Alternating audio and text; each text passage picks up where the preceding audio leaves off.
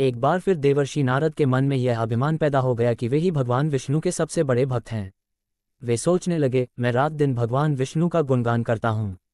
फिर इस संसार में मुझसे बड़ा भक्त और कौन हो सकता है?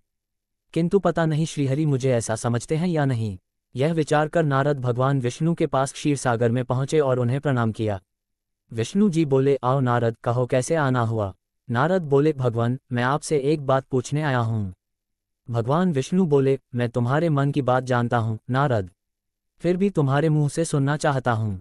नारद ने कहा, हे देव, मैं जीवन भर आपका गुणगान करता रहा हूँ पल पल हर क्षण मुझे बस आपका ही ध्यान रहता है। आप मुझे ये बताइए कि क्या मुझसे भी बड़ा आपका कोई अन्य भक्त है? संसार में भगवान विष्णु समझ तो पहले ही गए थे कि नारद को अपनी भक्ति पर अभिमान पैदा हो गया है, किंतु अपने मन की बात छुपाकर वे बोले, नारद, इस प्रश्न के लिए तो तुम्हें मेरे साथ मृत्यु मृत्युलोक चलना पड़ेगा। नारद बोले, ठीक है, भगवान, मैं मृत्युलोक चलने के लिए तैयार हूँ। भगवान विष्णु नारद को लेकर मृत्युलोक चल पड़े। धरती पर पहुंचकर दोनों ने किसान का भेष धारण किया और एक गाँव के किनारे बनी एक झोपड़ी की ओर चल पड़े। विष्णु बोले, नारद, मेरा एक बहुत बड़ा भक्त यहाँ इस कुटिया में रहता है। आश्चर्य है, क्या मुझसे बढ़कर भी किसी की भक्ति हो सकती है?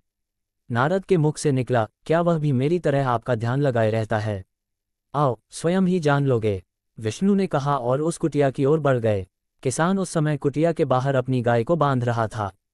किसान उस समय कुटिया के बाहर अपनी गाय को बाँध रहा था। उसके मुख से हरि हरि गोविंद का स्वर निकल रहा था। किसान भैंसधारी विष्णु ने उसके निकट जाकर नारायण नारायण कहा तो किसान ने विनीत स्वर में पूछा, आप कहाँ से आए हैं? भद। मेरे लिए कोई सेवा हो तो निसंकोच बताइए किसान वेशधारी भगवान विष्णु ने कहा, हम नगर जा रहे हैं, पर अंधेरा घिरने लगा है। वन में जंगली पशुओं का डर है, इसलिए रात भर आश्रय चाहते हैं। किसान ने प्रसन्न भाव से कहा, मेरी कुटिया में आपका स्वागत है। भद्र और जो रखा सूखा घर में है, आपके लिए हाजिर है। भगवान ने मुझे आप लोगों की सेवा करने का अवसर दिया है, बड़ी कृपा हुई उनकी बाहर दालान ने एक खटिया पर दोनों को बिठाकर किसान अंदर गया और अपनी पत्नी से कहा, देवी, दो अतिथि आए हैं। किसान की पत्नी उस समय अपने बच्चों को भोजन परोस रही थी।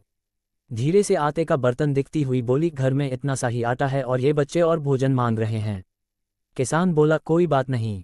हम अतिथियों को भरपेट भोजन कराएँगे।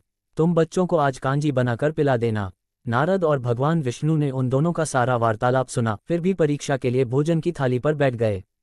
जब दोनों भरपेट भोजन कर चुके तो नारद सोचने लगे, ये सीधा साधा गृहस्थ भगवान का सबसे बड़ा भक्त कैसे हो सकता है उधर श्रीहरि ने किसान से और भोजन लाने की फरमाइश कर दी।